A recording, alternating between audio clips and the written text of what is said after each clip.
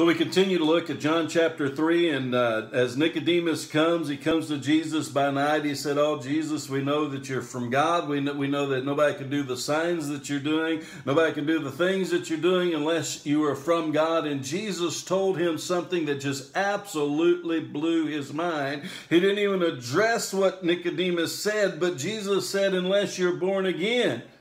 Truly, truly, I say to you, unless you're born again, you cannot see the kingdom of God. Truly, truly, I said to you, you see, up until this point, Nicodemus was dependent upon his religion for salvation. He was dependent upon his good works for salvation. And you see, uh, Paul warns us in 2 Timothy chapter 3 and verse 5. He, he, he warns us about these folks that, that have a, a form of godliness, yet they have denied the power. They, they have this form of godliness, this churchianity within them, but it's all about legalism. It's all about works. I have to do this. I have have to do that. I have to do all of these things. And a lot of folks will say, well, Nicodemus was of the Old Testament. But friends, I want you to understand the means of salvation has never changed. Abraham believed God, therefore it was credited to him or reckoned unto him as righteousness.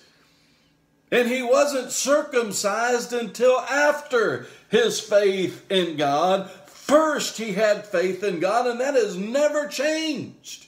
If anybody deserved the condemnation of the law to fall upon him, it was David, but God called David his own son, and David was a man after his own after God's own heart, yet he fully deserved the wrath of God, the full condemnation of the law of God to come upon him.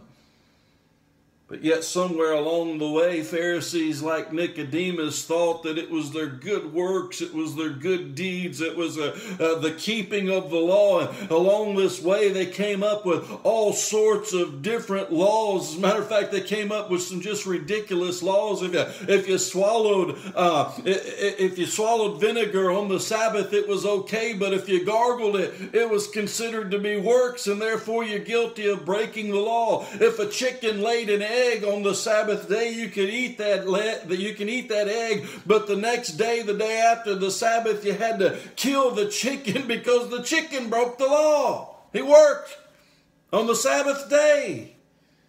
That's that's mind blowing. And all these laws, all this religion, all this religious stuff. But friends, they were so far from God, even in their religion separated from God in even in their sins, even though they were legalistic. Jesus called them whitewashed tombs. What is that? Looks good and beautiful on the outside, but it's full of dead men's bones on the inside. John MacArthur said this about the, the Pharisees. It says, though they were fanatically religious, they were no nearer to the kingdom of God than a prostitute. Think about that for just a minute. And that was the religion. You know, friends, God doesn't care about religion. We're saved by faith, and we're going to talk more clearly about that later on in the week. But Jesus told Nicodemus, we looked at yesterday, he said, unless you're born again, you can't see the kingdom of heaven. But then Jesus said in verse 5, Jesus answered, Truly, truly, I say to you, unless one is born of water and the Spirit, he cannot enter into the kingdom of heaven. Again, we'll talk more about what, what it means be, being born of the water and the Spirit. Uh, uh, tomorrow we'll talk about that, or the, or the next day actually. But Jesus said once again, unless you're born again, you can't even enter the kingdom of heaven. Your good works, your, your righteous deeds, your righteousness is as filthy rags in the sight of God. That's Old Testament. That's Isaiah. And Nicodemus should have known this. And when Jesus said your good works isn't going to get it, everything you thought was the way isn't the way. Jesus said, I am the way. And you must be born again. Nicodemus didn't comprehend it. He said, How can these things be? Jesus said, You're the teacher of Israel and you don't understand these things? You know the Old Testament, and the Old Testament testifies of me. and you should know. But you've looked towards your religion rather than look toward me. We've got so many folks today with a churchianity sitting in the church pew Sunday after Sunday, might be some of the most faithful people in the world. But they're dependent upon their religion to save them rather than being dependent upon the person of Jesus Christ to save them. We have to be born again. We have to die to everything of this world. And we have to come alive to Jesus. Nicodemus would have gladly fasted. Nicodemus would have gladly given money. Nicodemus would have, would have gladly sacrificed himself in some sort of religious way. But Jesus said you have to be born again.